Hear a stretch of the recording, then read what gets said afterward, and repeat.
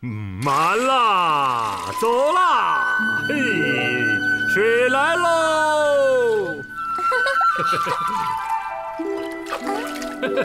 哦，来。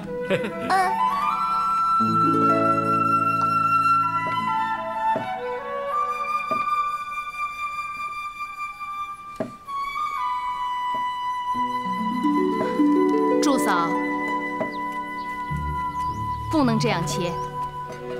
你们平时切肉都横着切，牛肉不一样，牛肉比较粗，要顺着纹路切，不然的话一下锅就碎了。我知道了，夫人快坐下吧，我来。你们浙江人不大吃牛肉吧？牛比人还辛苦，耕田拉车全靠的它。我们平时都把牛当人看，没人杀牛吃。倒是我们家破了你们的规矩了。夫人千万别这样说，我们也就是不杀，遇上牛摔死了、老死了，有些人家还是要吃的。啊，哪儿跑？来 来，哦，来，哦，哎，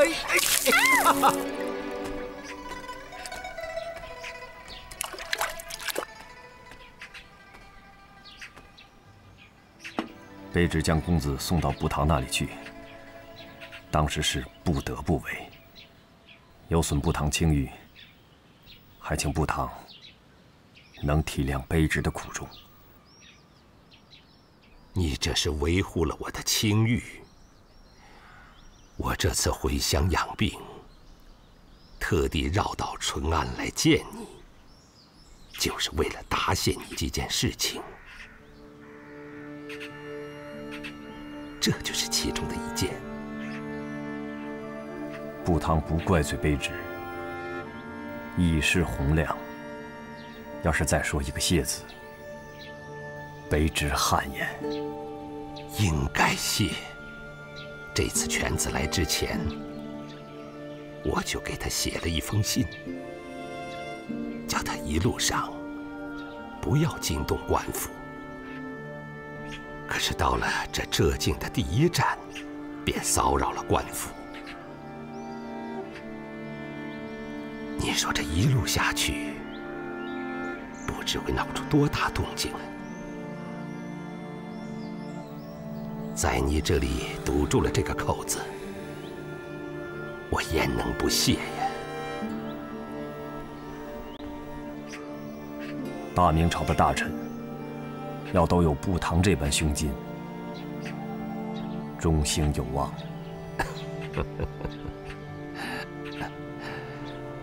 哎呀，你这个海笔家，什么时候也学会奉承上司了？我海瑞从不说违心之言。能得到海刚峰的肺腑之言，胡某欣慰。你坐吧。我更应该感谢的是，你给我送来了齐大柱，这些淳安的义民皆忠勇善战呢。胡某的命就是他们救下来的，这个谢你应该受了。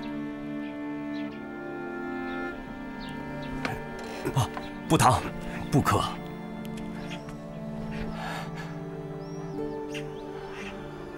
一民忠勇是他们的功劳，不堂这个谢字，卑职更不能受。没有好官，就没有好百姓。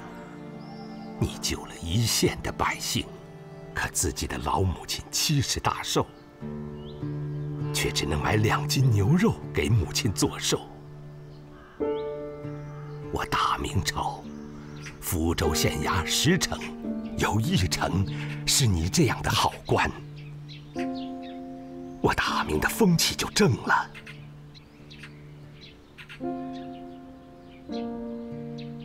你为什么还要辞官呢？请起。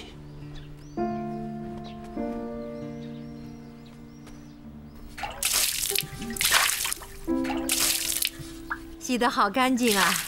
你比海瑞能干多了。老夫人，您这话就折了小人的阳寿了。海大人是惊天大老爷，小的怎么敢跟大人比啊？居家过日子，还是你这样的儿子好。老夫人，那小人就斗胆说一句，往后啊，您老就把我当您的儿子看，有什么事儿啊，您就吩咐一句，我马上就到。你是官府的人，总督的将官，老身就是有事也叫你不来。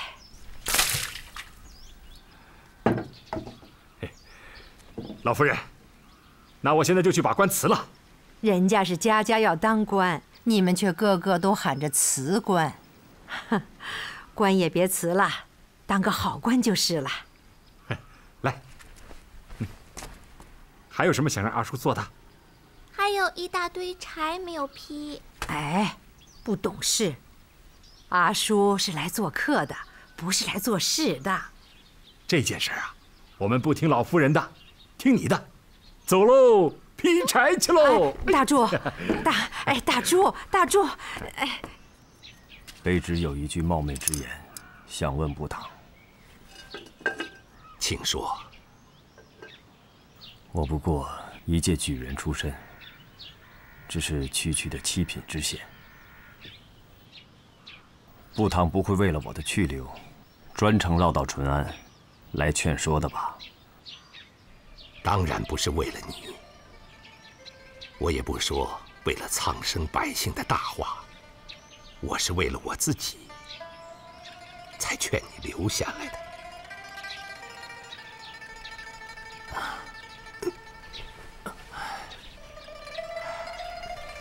我在浙江当了五年巡抚，后来又兼任浙直总督，至今。这屈指算算，已有七个年头了。所不能去者，我患而已。现在，浙江的倭寇总算肃清了。杜甫说过：“名起文章著，冠因老病休。”我这个身子，也是该休的时候了。高兵休养的奏书，蒙皇上恩准了。我想回乡休养半年，半年之后再上奏书，继续告病。此生啊，我也不想再出来了。以前的功过是非，叫别人去评说吧，我不在意。在意也无用。我在意的是，浙江的百姓在我走后，不要去骂我。因此，在我担任浙直总督的时候，不能让你辞官。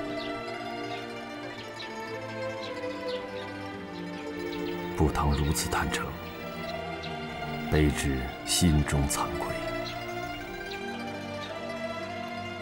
不堂如想让卑职留下，可否应允卑职两件事？请说。这第一件事，淳安今年全县被淹，三年之内，淳安百姓都熬不过灾情所带来的困苦。不堂可否上书，为淳安县百姓免去三年的赋税？这一件我答应你。我和赵忠诚。联名上奏朝廷，卑职代淳安县百姓谢过部堂大人。淳安的百姓也是我的百姓啊。是。大人，服药吧。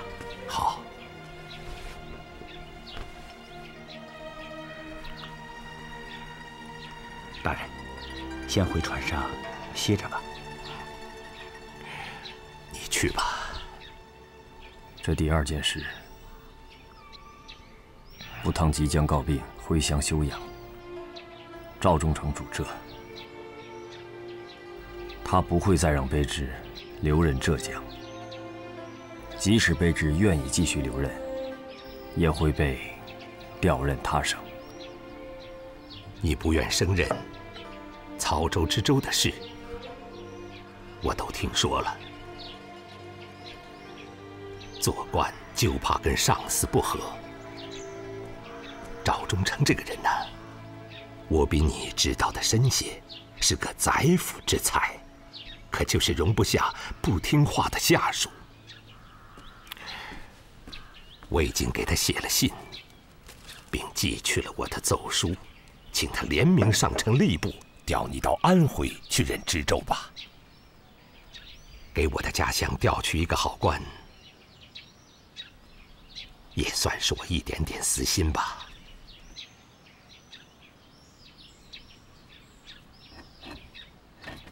你不愿意去？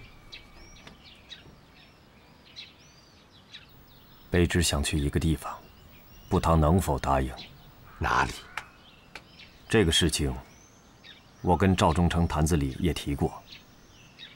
要想让我留任，就把我调到江西分宜去，仍任知县。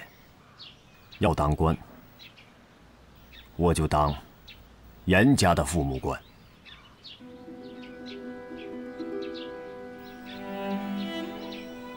不堂是否感到为难？我知道，现在全天下的人还是信不过我呀。卑职就信得过步堂。天下的人都认为步堂是严阁老的人，可卑职认为，步堂是我大明朝的人。江西分宜是严阁老的老家。步堂如果能推荐卑职到那里去，朝野自会认为步堂不是严阁老的私人，这一条我无法答应你。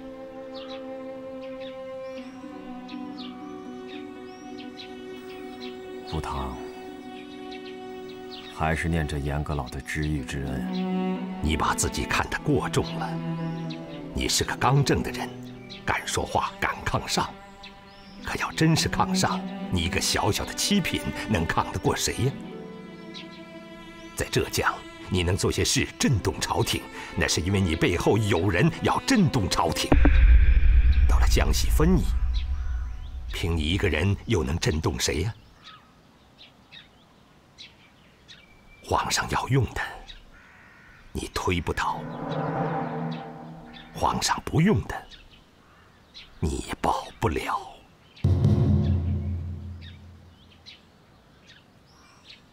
卑职就要步堂一句话：是否愿意推荐卑职出任江西分宜？我不愿意做欺瞒世人的事，我也不愿违背自己的心意去做事。你如果真要调任江西分宜，我可以再给赵忠诚写信，我的奏书可以不上。我让赵忠诚一个人上奏书，举荐你。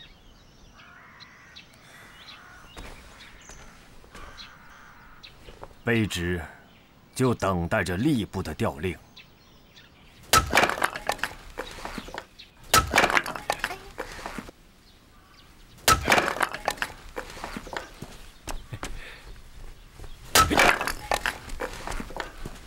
吃饭了，恩公还没说完话呢，吃什么饭呢？老夫人和夫人也该饿了。还有，夫人可饿不得，陪老夫人和夫人先吃吧。那胡步堂在哪里吃啊？回老夫人的话，胡步堂正病着，只能喝些粥。他们一大班子人呢，衙门里都给他们准备了。啊，那我们先吃。哎，呃，大柱啊，吃完了再批吧。哎，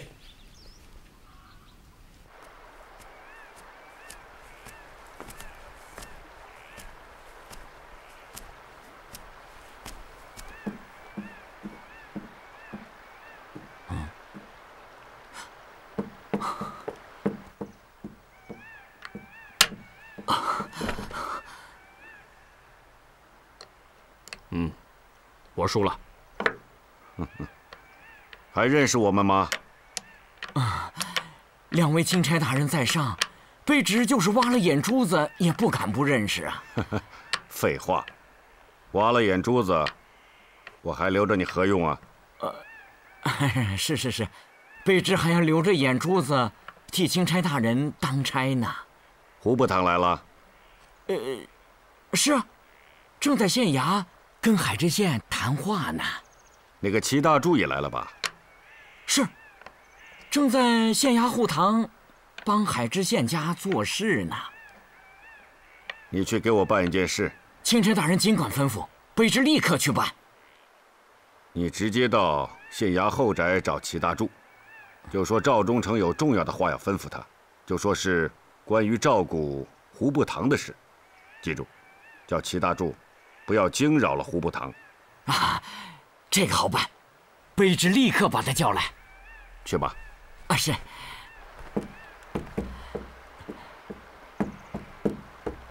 快走，快走。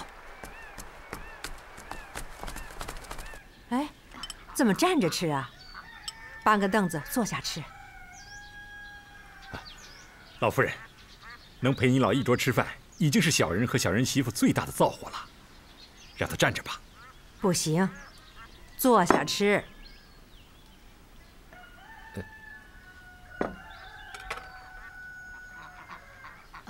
我去。啊，夫人，我来。哎，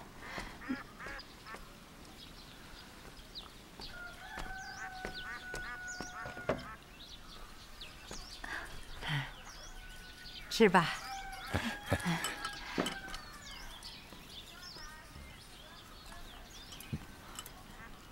淳安县城天佑路，求见老夫人。不是叫鲁贤跟衙门里的人都打招呼了吗？凡是衙门里的人都不许到我们这里来，他怎么来了？老夫人，我去问一问，兴许是海大人有事要吩咐呢。不理他，我们吃吧，吃吧，啊，来，老，夫人，啊，什么事？省里赵忠诚派人来说有要事见你。我禀告一声老夫人，这就跟你去。要快啊！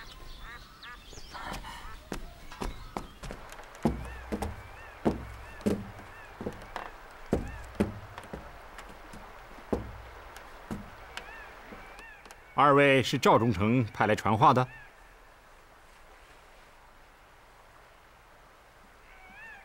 把你的衣服脱下来，让我看看。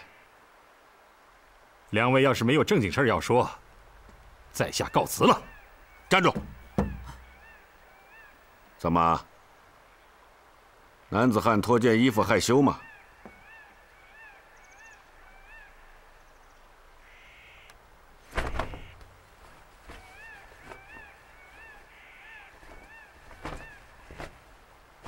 虎背蜂腰，上面很正，请把你的尊裤撩起。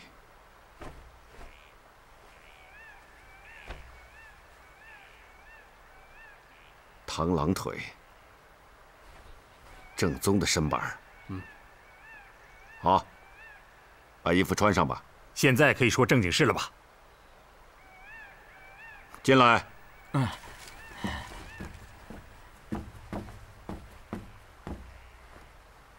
拿给他看看。是。请看吧。嗯。两位是宫里的钦差，拿过来吧。你说的没错，奉上谕，你必须跟我们走一趟。为什么？是关于倭寇头子井上十四郎的事。这事儿，总得先禀报一下部堂大人吧。不用了。胡部堂那儿，我们会禀报。你立刻跟我们走。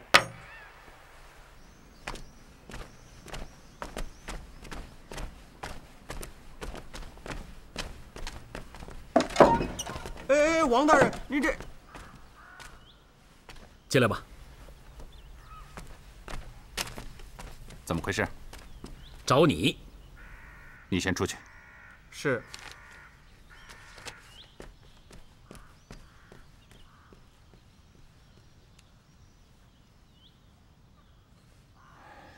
找我怎么找到这里来了？有什么事不能在暗察使衙门等我回去再说？哼！你们把一切都密谋好了，然后躲着我。暗察使衙门等得到你吗？王润莲，这里可是医生处置公务的机密之地，你怎么能随随便便带人进来？要谈公务，你这就立刻出去，到暗察使衙门等我。要闹义气，就脱了官服再跟我闹。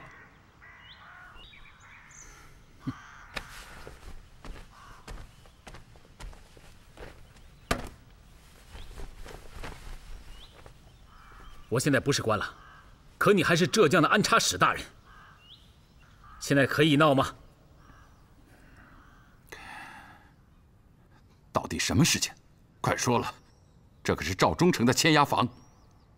我知道赵忠诚不打算见我，我也不想去问他。可是把我从昆山调来，把海刚峰从南平调来的是你谭伦。我现在就问你，毁堤淹田的事情被你们一汪水给盖过去了。说是为了抗倭大局，不牵连胡部堂，可那个井上十四郎呢，并无一点牵涉胡部堂，更无碍抗倭大局。这么多证词在，这么多供词在，明明是严党的人干的，你们却把齐大柱给抓了。齐大柱是海刚峰从断头台上救下来的，接下来你们是不是把海刚峰也要给抓了？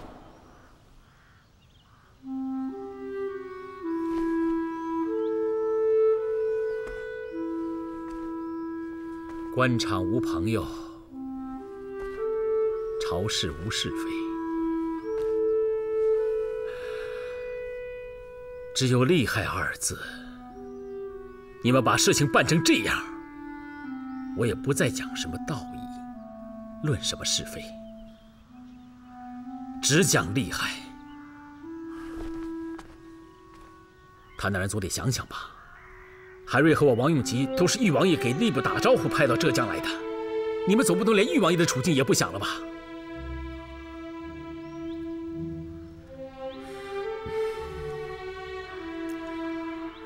那好，海瑞的辞呈已经上了，我也并未接受你们台州知州的荐任。我是你搬来的，你现在让我走，或者是就地免职，或者让我回到北京任何一个衙门任我的七品。我就带着齐大柱的妻子到北京去，此处伸不了冤，我就去见徐阁老，徐阁老就是不见我，高大人、张大人总会给我一个说法吧？你就是齐大柱的妻子？民女是齐大柱的妻子，民女的丈夫没有通过。话既然问到这个份上，那我就给你们说明白了。抓齐大柱前，镇抚司的上差是告诉了赵忠诚，也告诉了我，可也就是告诉了一声。他们的身上有上谕，奉旨办差，谁也挡不住。挡不住？难道就不能上个奏书向皇上辩陈吗？你到门房去等着吧。民女的丈夫真的没有通过。去吧。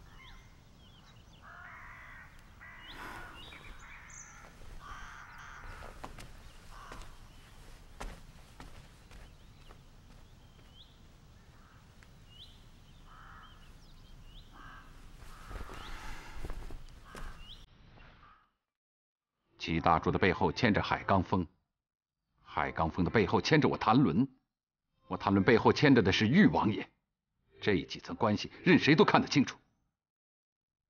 可皇上还是下旨抓了齐大柱，这是将自己的儿子也捎带打了。为什么？严嵩亲自出手了，皇上也得让他三分呢。朝廷还在等着燕茂卿巡盐的银子呢。短兵相接了。我不能说话，玉王爷也不能说话，你更没有说话的份儿。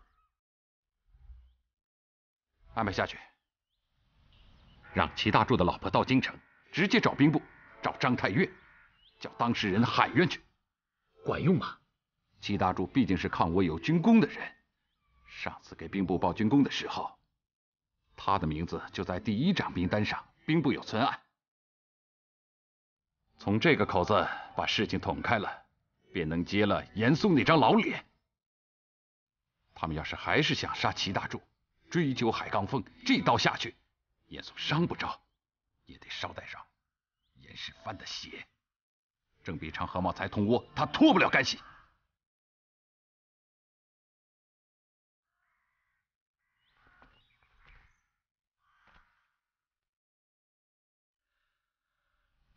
我来浙江不后悔。海刚峰总有一天也会明白你们的苦心。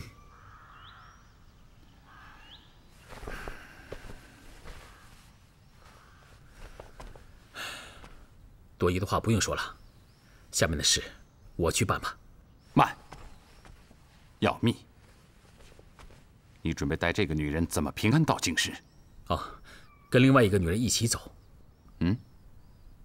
啊，这一向心里有气，这件事也没跟你说。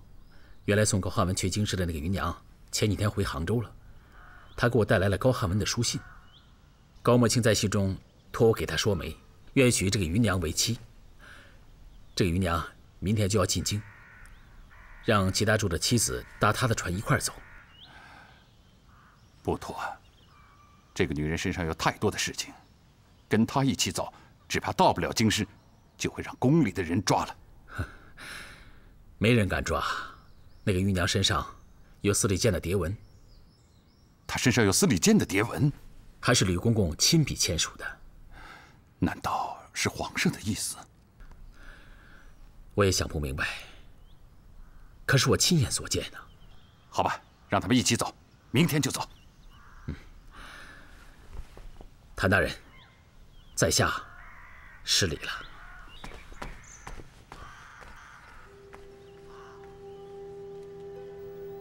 今天真是严党的好日子，冬至瑞雪，燕茂卿南巡的白银。进京了，好雪，和银子一样白。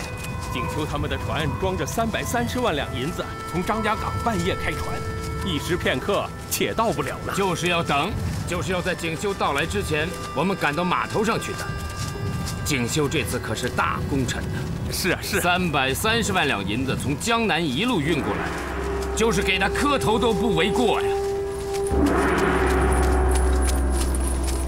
启禀大人。严茂卿，燕大人到了。爷，爷，可想死我了！地上有雪，快起来。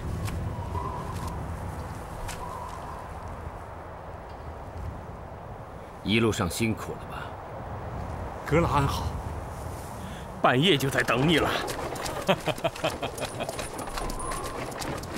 停车！停车！怎么了？七爷，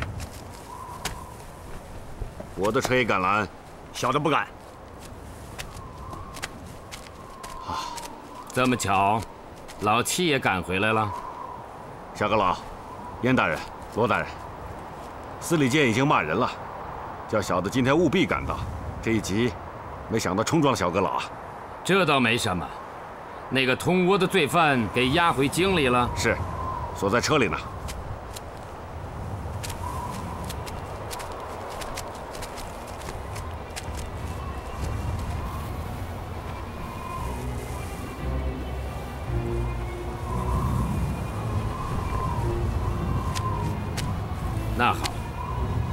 的差事要紧，都让开，让七爷他们先走。让开，全部都让开。他在下就越礼了，都是亲命，没有什么越礼不越礼的。把这个窝贼背后的人好好审出来，到时候我请七爷喝酒。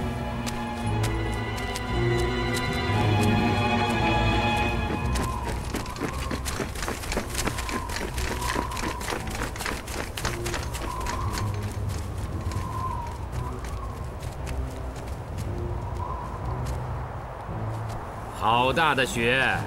好兆头啊！一不雪便是一锭银子，咱们也不坐轿子，踏着雪去见老爷子，报喜去。好。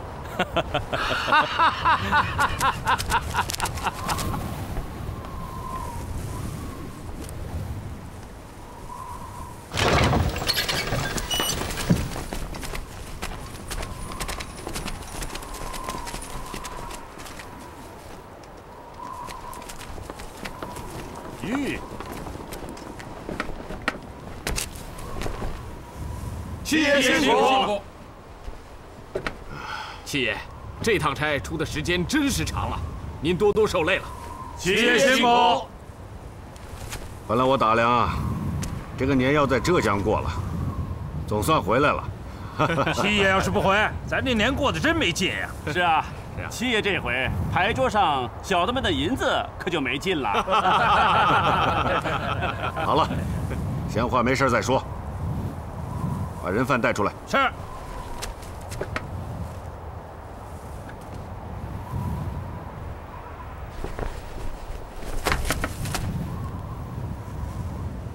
你马上去安排一间牢房。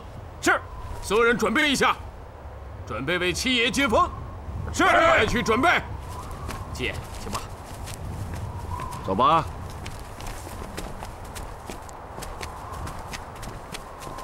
爷，你怎么进京来了？我是你的人，活着给你送饭，死了给你送灵。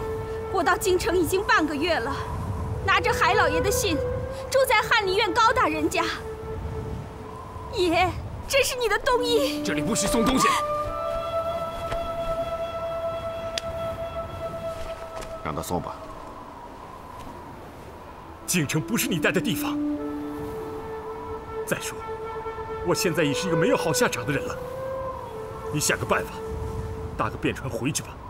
我一个人，你让我回哪儿去？回浙江，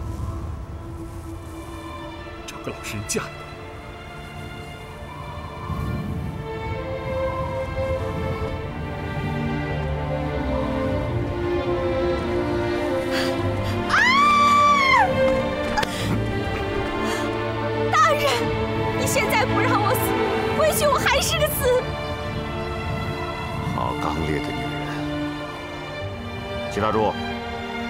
说了算。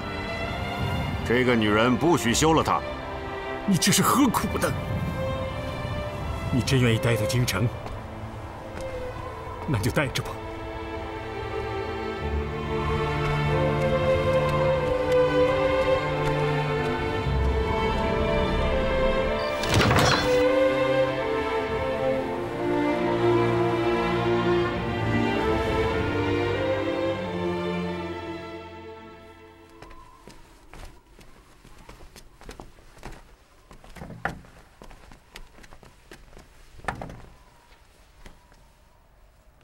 爹，他们来了。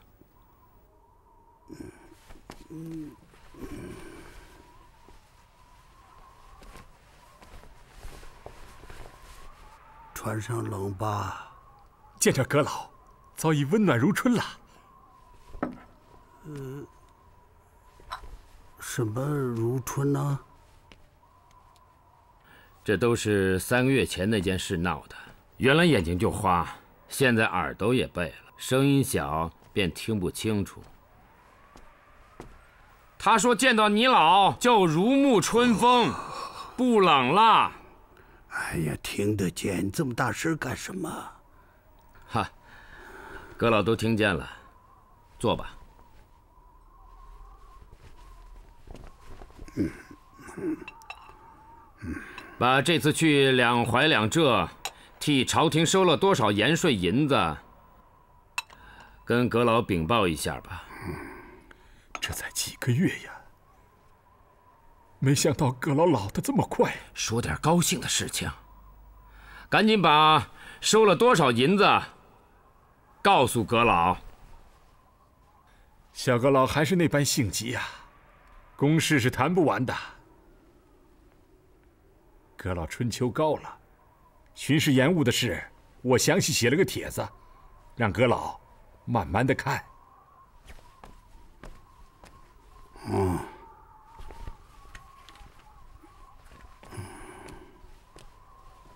呃，详细的账册呈给皇上了吗？送去了，银子送进了国库，账册呈给了皇上。哦，那就好。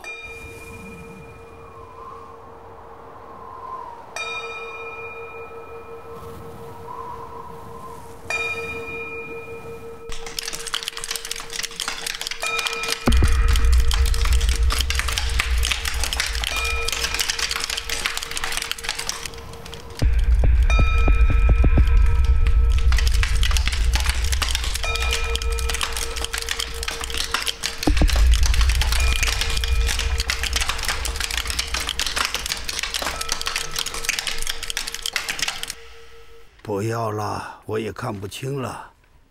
你跟我说吧，这一次一共收了多少税银呢？阁老，二百三十万。嗯，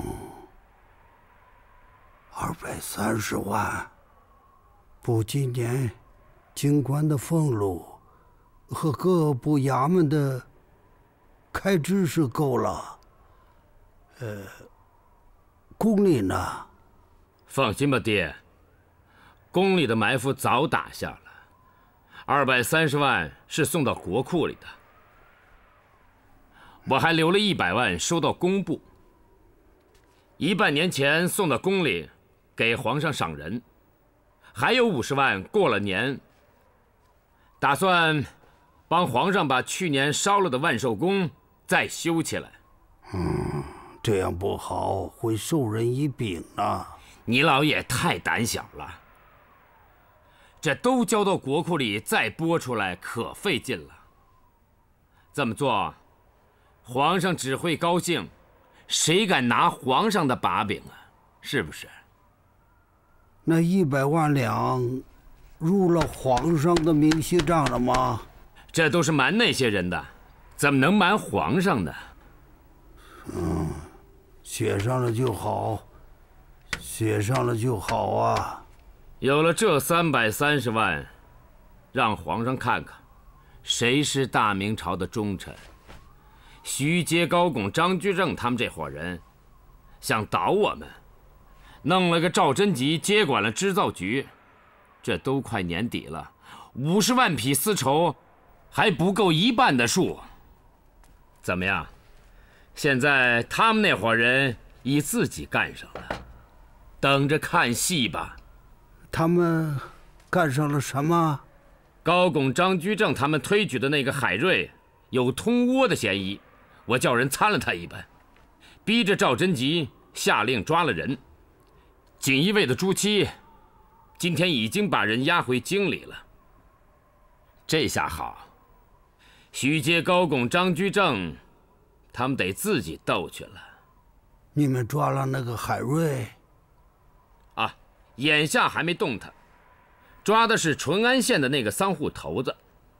这个人从改道为桑一开始就领头造反，后来又通倭，被何茂才给抓了，竟然让那个海瑞给放了，还送到胡汝贞那儿去打仗，这不是反了天吗？抓了他，这海瑞就跑不了。怂恿海瑞闹事的那些人都脱不了干系。准奏。不要惹事了，毕竟背后还牵着誉王呢。爹，有些事情你老不清楚。一个举人出身的七品小官就能把浙江闹得天翻地覆，这郑必昌、何茂才的命有一半是丧在他的手里。这次燕茂卿去江南，他又公然叫板，跟老燕过不去。哎，你说他凭什么？不就是仗着他背后有人吗？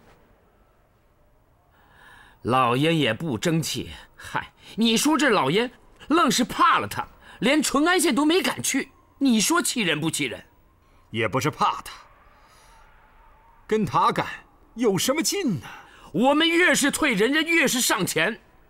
浙江的事情，我们的人都被他们杀了。这次不办他几个，我们就翻不了这个身。爹，这事儿您就别操心了。让儿子收拾他们。呃还是阁老说的对，小阁老，有些事情还是从长计议的好。通倭也要从长计议。公事还是慢慢谈吧。阁老，儿子们还真有件欢喜的事情还没对您说呢。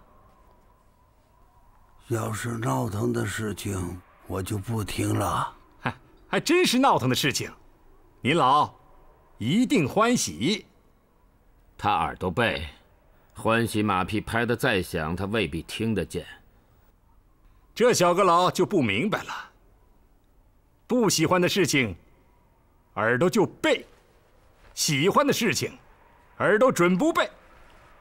那好，这公事今天就不用谈了，拍你的马屁吧。唱起来，比平时奏的响亮些。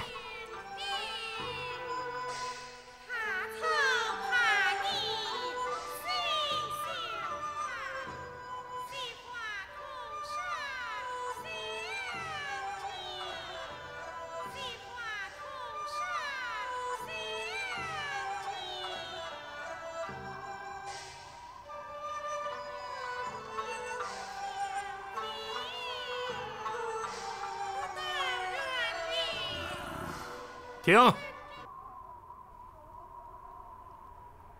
这是《西厢记》听琴的唱段，不像是原来的昆山腔。什么人改的曲子？您真是法耳啊！这是昆山的魏良辅闭门十年，调用水墨改出的新昆腔，江南人都叫它水墨腔。眼下就这个戏班子能唱，这是魏良府。